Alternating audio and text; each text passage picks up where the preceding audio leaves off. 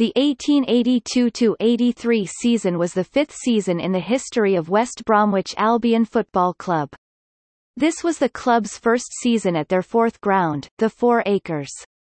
The ground had been home to the West Bromwich Dartmouth Cricket Club since 1834, but the cricket club allowed Albion to play football matches there on Saturdays and Mondays. The club wore two different kits during 1882-83, as well as the chocolate and blue halves from the previous season. The club also sported narrow red and white hoops. Albion won their first ever trophy when they defeated Stoke 3-2 in the final of the Staffordshire Senior Cup, winning the competition at the first attempt. They also reached the final of the Wednesbury Charity Cup, but lost 5-3 to Notts Rangers. In the Birmingham Senior Cup, Albion reached the fourth round, having registered their record competitive victory.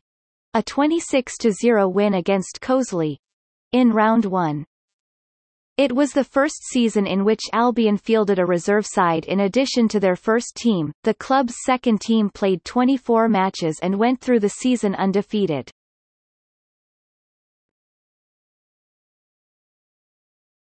Topic. Birmingham Senior Cup In the first round of their second Birmingham Senior Cup campaign, Albion beat Coseley by a 26-0 scoreline, having led 17-0 at half-time. Every Albion outfield player scored at least once. Goalkeeper Bob Roberts was the only one of the team not to appear on the scoresheet. Harry Aston led the scoring, netting five times, while Billy Bisseker, George Timmins and George Bell also scored hat-tricks in what remains the club's record competitive victory.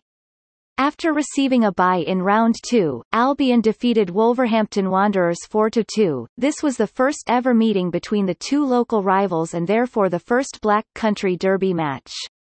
Wednesbury Old Athletic were the opposition in the fourth round match. Aston scored for Albion but the team lost 2-1 as Old Athletic eliminated Albion from the competition for the second successive season. Source for match details Topic. Staffordshire Senior Cup Albion, taking part in the Staffordshire Senior Cup for the first time, defeated Bloxwich Strollers 4-0 in the first round replay, following a 3-3 draw. In round two, Albion met local rivals Aston Villa for the first time, and after another 3-3 draw, won the replay with a goal from George Timmins. The team drew 2-2-2 in the third round, but their opponents St George's were then disqualified from the competition for fielding two ineligible players in the match, so Albion progressed by default.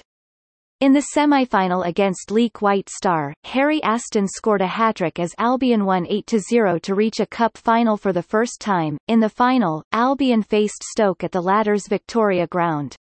More than 1,500 West Bromwich Albion supporters took advantage of a special rail excursion to attend the game. Johnson opened the scoring for Stoke after 15 minutes, but Albion replied through Timmins and Fred Bunn. Stoke equalised before half-time when Johnson claimed his second goal of the match. George Bell scored the winning goal in the second half when he headed a cross past Stoke's goalkeeper Wilden.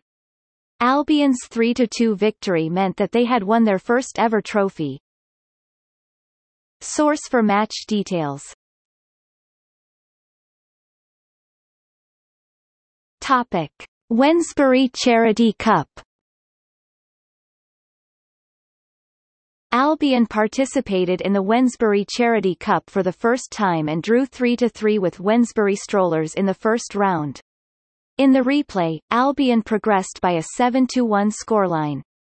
Harry Aston scored the only goal of the semi-final against Aston Unity at Wellington Road. The final took place at the same venue, against Notts Rangers. Two goals from Harry Aston and one from Bisseker were not enough as Albion were defeated 5-3. Source for match details Topic.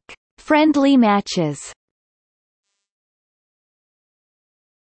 As league football had yet to be established, West Bromwich Albion took part in a number of friendly matches throughout the season. Among these games was a 10-0 win against Stourbridge Standard in which Billy Bisseker scored six goals. This was the first match held at the Four Acres. Later in the season, Harry Aston scored six times as Albion were 10-1 winners against Birmingham Junior Association. The record of the club's matches during their early years is not complete, thus several of the scorelines are missing. Source for match details Topic. See also 1882 to 83 in English football. Footnotes